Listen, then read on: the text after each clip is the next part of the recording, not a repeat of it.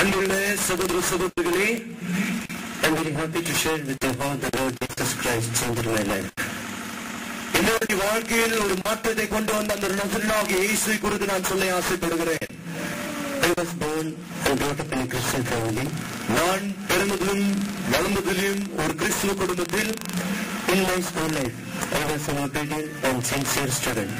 என்னுடைய பள்ளிக்கூடத்தில் நான் மிகுந்த ஒழுக்கத்தோடு தெய்வ பயத்தோடு நடக்கிற ஒரு பிள்ளையாயிருந்தேன் I used to attend church service regularly. தேவாலயத்துக்கு நான் தொடர்ந்து ஞாயிற்றுக்கிழமை தோறும் நான் சென்று கொண்டிருந்தேன் And I used to take part in the various activities of the church. சபையில் நடக்கிற சகல காரியங்களிலும் கூட்டங்களிலும் நான் தொடர்ந்து கலந்து கொண்டே இருந்தேன் such as choir programs and other youth activities. இதே போல் பாடல் பாடுவதிலும் இப்படிப்பட்ட மியூசிக் மியூசிக் டிப்ளமா நான் ஸ்கூல் முடித்த உடனே இந்த மியூசிக் என்றது ஆரம்பித்தேன் There I began smoking and drinking habits because of the influence of my friends. அதன் பிறகு என்னானது நான் குடிக்கவும் பீடி குடிக்கவும் சிகரெட் குடிக்க இப்படியாக அநேக காரியங்கள் கெட்ட பழக்கங்கள் நான் கற்றுக்கொண்டேன் I wasted my life in movie theaters and bars. அநேக நேரத்தில் என்னுடைய வாழ்க்கையில் சினிமா தேட்டர்லையும் வேஷமாக அதிகமான குடியிலையும் இப்படியாக நான் செலவழித்தேன் I never thought about my future. என்னுடைய வருங்காலத்தை குறித்து ஒரு நாளும் நான் நினைக்கவில்லை. என்னுடைய வாழ்க்கையில் வாழ்க்கை என்பது வெறும் ஒரு ஒரு வித்தியாசமான விசேஷமான ஒரு பரியாசமான ஒரு வாழ்க்கையை வாழ்ந்து கொண்டிருந்தேன். கொடுத்திருக்கிற இந்த தாழ்ந்தன் மூலியமாக அநேக இது போல மேடைகளில் என்னை நானே நான் அநேக பாடல் மூலியமா நான் பாடிக்கொண்டிருந்தேன். அதிகமான பணத்தையும் நான் சம்பாதித்தேன் அந்த பணத்தை வீணாக நான் செலவழித்தேன் One fine day, a chap visited my house. ஒரு நாள் சாயங்கால நேரத்தில் ஒரு என்னுடைய வீட்டுக்கு வந்தார் He shared with me a little booklet called False Prisoners. இடத்துல வந்து நான்கு கிறிஸ்டியன் லா என்று சொல்லப்படும் அந்த காரியங்கள் இடத்தில் பகிர்ந்து கொண்டார் Yes, when he shared with me, I realized for the first time I am sinful and Jesus Christ is the only solution for my sin.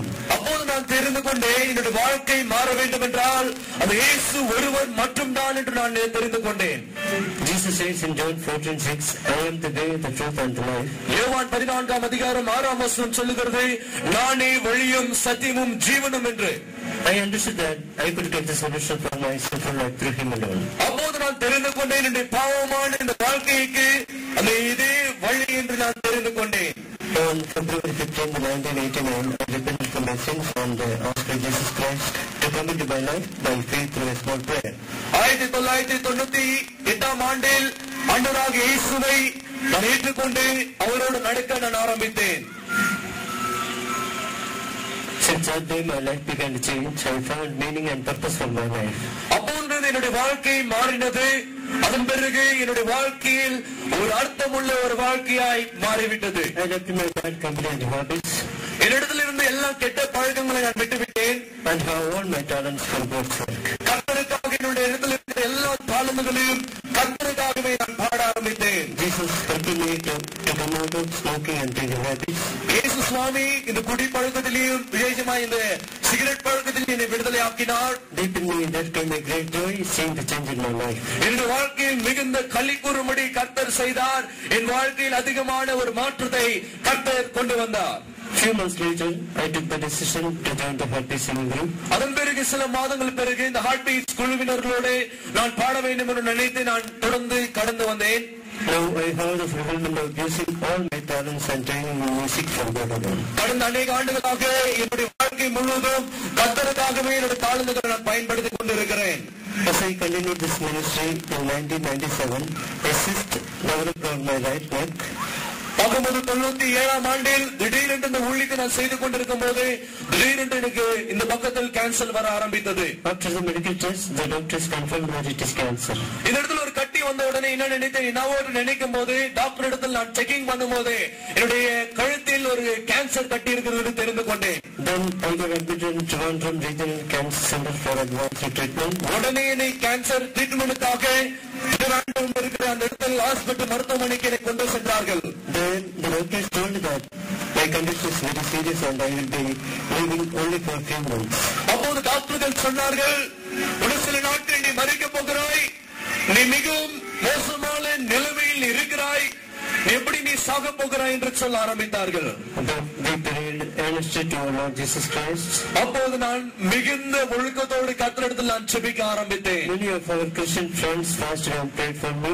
அநேக கிறிஸ்துவ போதகர்களும் விசுவாசிகளும் எனக்காய் செபிக்க ஆரம்பித்தார்கள் I had to undergo radiation and chemotherapy. அப்போது என்னுடைய கழுத்திலே அநேக ரேஸ்கள் அனுப்பி அந்த கட்டியை நான் சாகடிக்கவே அதை எடுக்க வேண்டியதா இருந்தது During this time, I could experience God's special love and care in my life.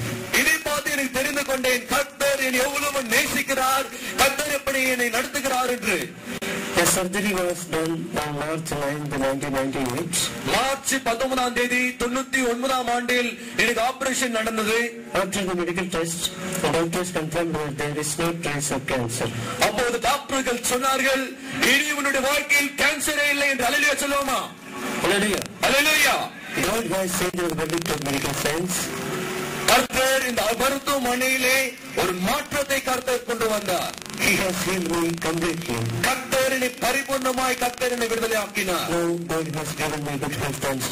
இப்போது கர்த்தர் எனக்கு பரிபூர்ணமான சந்தோஷமான எனக்கு உடலை கொடுத்திருக்கிறார். என்னுடைய வாழ்க்கை முழுவதும் கர்த்தருக்காகவே அவருக்காக மற்றும் நான் செலவழிக்க நான் நினைத்துக் கொண்டிருக்கிறேன். Dear brothers and sisters, என் அன்புள்ள சகோதர சகோதரியே if anyone of you are going through any kind of problems or sufferings, உங்களுடைய வாழ்க்கையில் அநேக பிரச்சனைகள் மத்தியில் உபோத்திரங்கள் மத்தியில் நீ கடந்து போய் கொண்டிருக்கலாம் my God who has healed me and delivered me will deliver you also. கர்த்தர் என்னை விடுதலாக்கினபடியே உன்னையும் உன் குடும்பத்தையும் இந்த நாளை கர்த்தர் உங்களை விடுதலாக்க போகிறார் Will you commit your life to Jesus Christ today?